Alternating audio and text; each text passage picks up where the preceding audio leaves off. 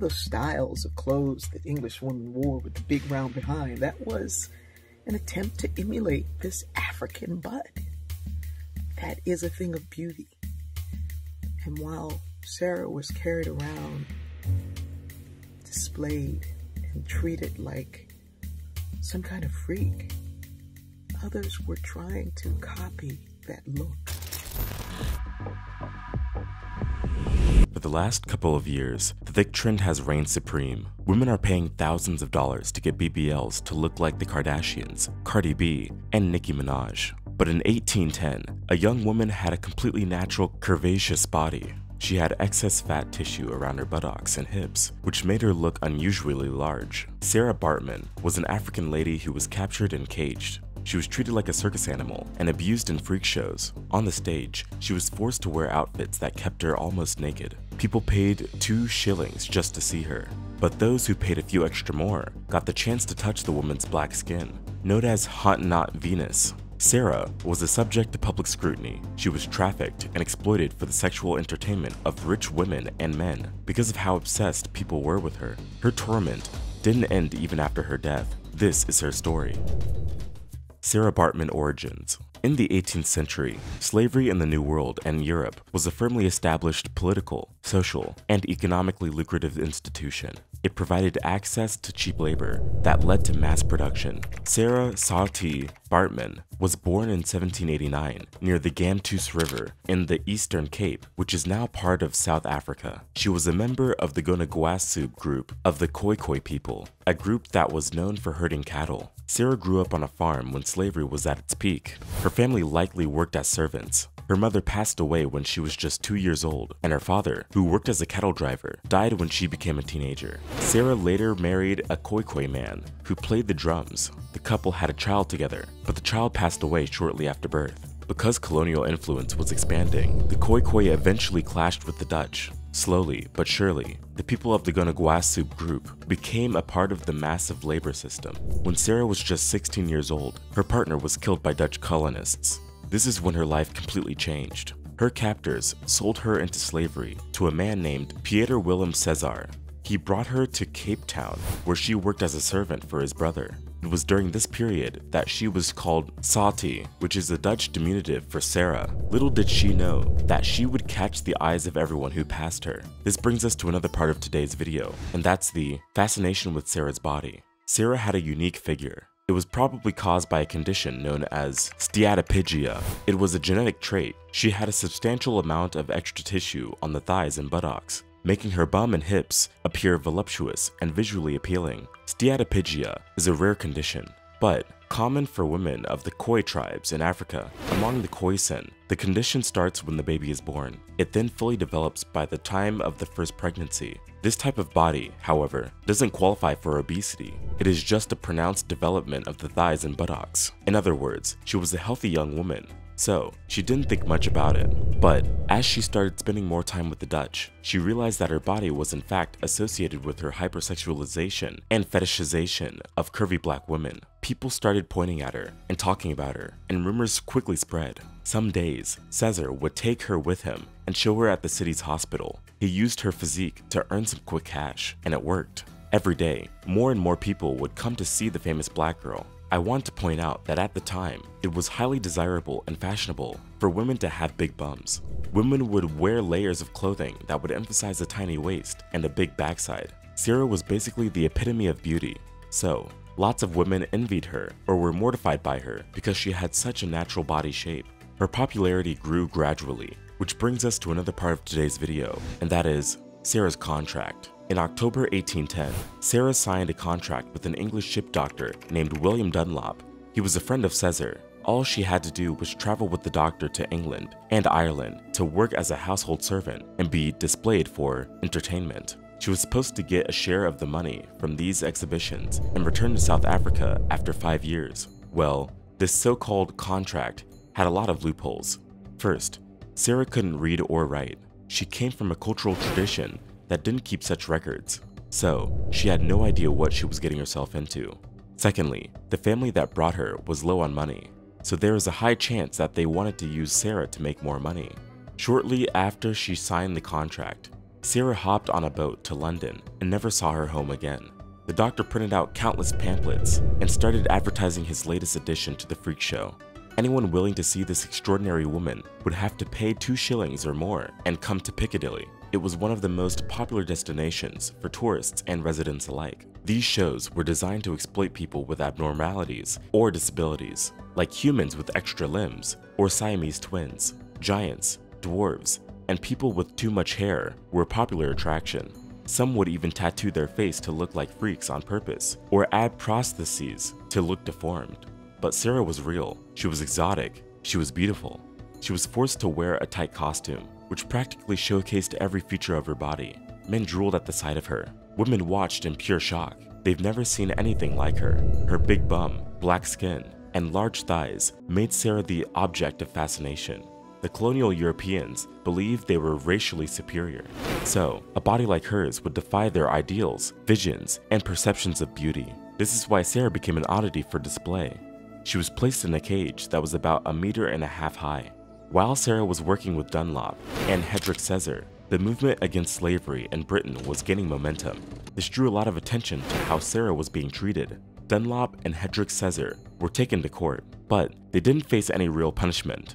That's because during the trial, they showed the judge the contract that Sarah allegedly signed. At the bottom of the contract, there was a statement that said that she wasn't being mistreated. This gave them power over Sarah, Still, her contract was changed and she became entitled to warmer clothing, better living conditions, and a larger share of the profits. This brings us to another part of today's video, and that is Sarah's later life. In September 1814, after spending four years in London, Sarah was taken to France. Here, she was enslaved. When she arrived, Hendrik Cesar sold her to a man named Rowe. Rowe owned a menagerie Menageries were a popular form of entertainment in the 1800s. They were a sort of cross between a zoo and a traveling fair. Roe believed Sarah would be a great object for display. See what I mean by object? That's right, they didn't even see her as a person. He paraded her across Paris and made a ton of money from the public's curiosity. He even locked her in a cage next to a young rhinoceros. He hired a trainer who would give her commands like they did with circus animals. He would tell her when to sit, stand, and dance. They wanted Sarah to act like the animals, to make sure she stayed popular. Sarah often had to wear nothing more than a simple tan loincloth. It would only cover her private parts, which were deemed culturally sacred.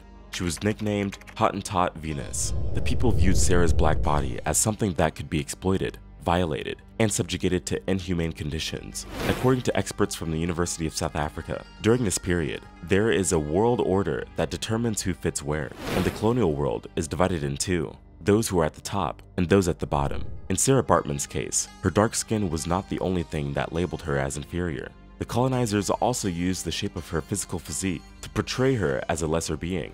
First, she was treated as an object for examination.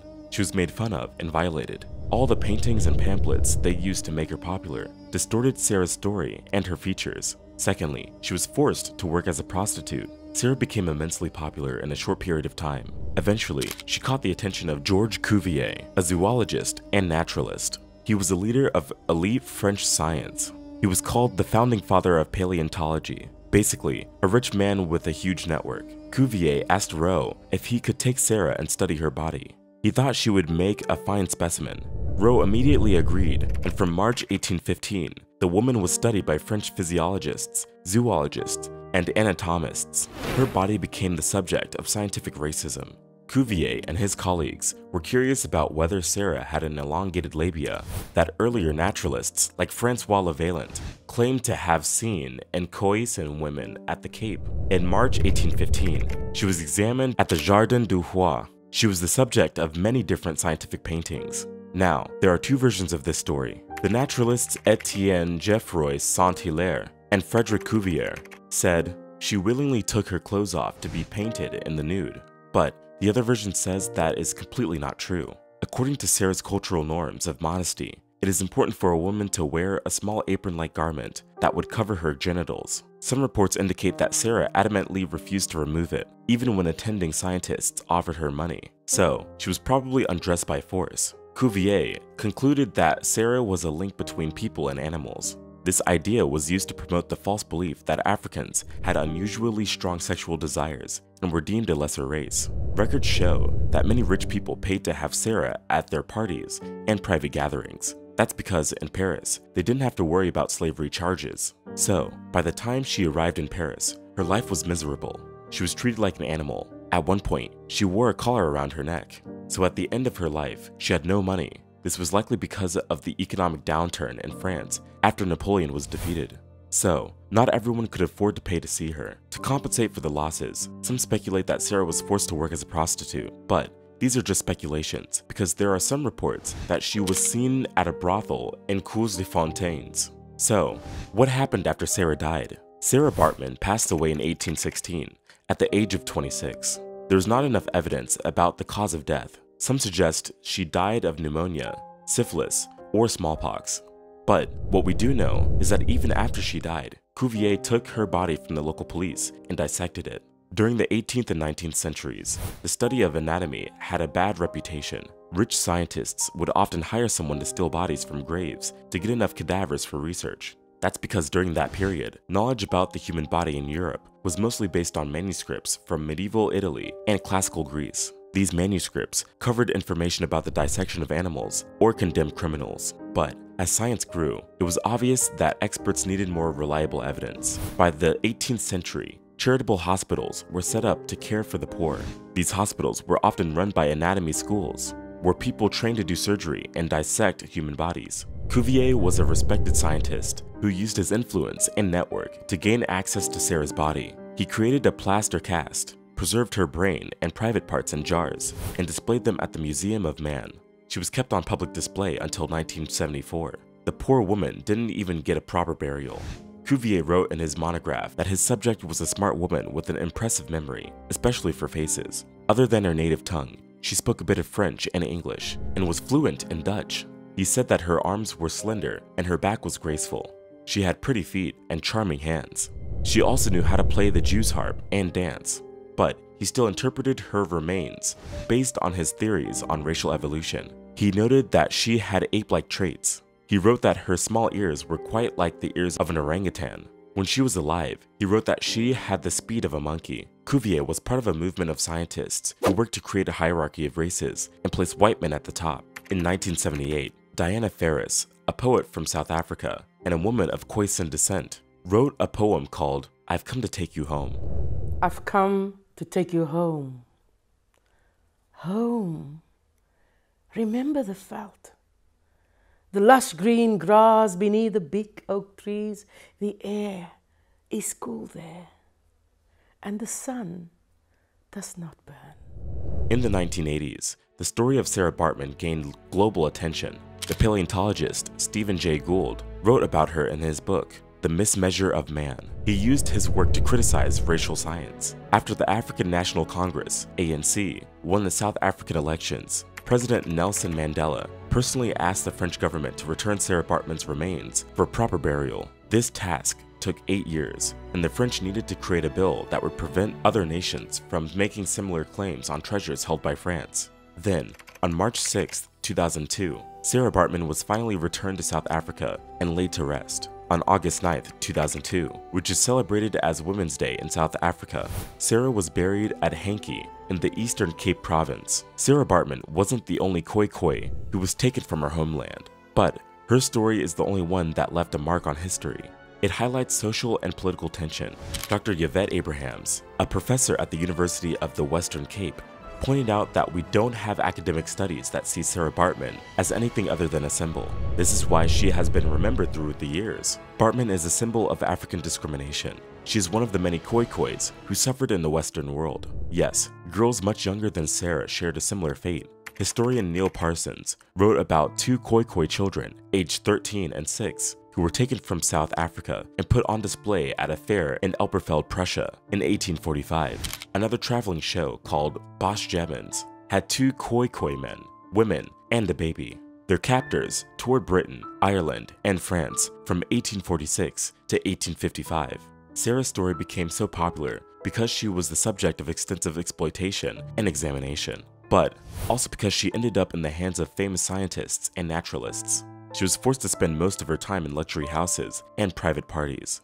But no matter where she went, she was mistreated even after death. She was brought to the West because of her big bum and thighs. The white people were so impressed with her figure that they wanted to study her reproductive organs. After all, parts of her body were exhibited at the Musée de la Homme for 150 years. But after all that time, she was finally able to find peace. Compared to other stories of slavery and sexual exploitation, that of Sarah Baartman stands out the most. The time she spent in London and Paris was so shocking and distressing that it is even hard to imagine what the woman went through. Sarah was the Khoisan from South Africa. She was put on freak shows because of her extremely large buttocks. This also made her the focus of scientists and naturalists in the area. People wanted to study her. They wanted to touch her. She lived in a period where black people rarely got a chance to live a normal life. During her very short life, she toured countries. She was the subject of many caricatures, pamphlets, and other forms of advertisement. She attracted so much attention that a famous anatomist took her body after her death it was their studies and inhumane treatment that showcased the true horror of Sarah's life. Her dead body was dissected and studied extensively. Her remains were painted by artists, and she was placed in a museum in France. Do have in mind, however, that most of Sarah's story was written by her captors. So, we don't know the full extent of their brutality. We don't know much about her early life. The good thing is that her remains were finally returned home, and she got the burial she always deserved. What do you think about Sarah's story? Is there something that you would like to add? Leave your thoughts in the comments, and don't forget to like and subscribe to join the movement. We aren't just telling stories, we're changing lives and waking the culture up. The video on the screen shares some more hidden black history that they will never teach you in school. Click on it now to watch. We'll see you over there.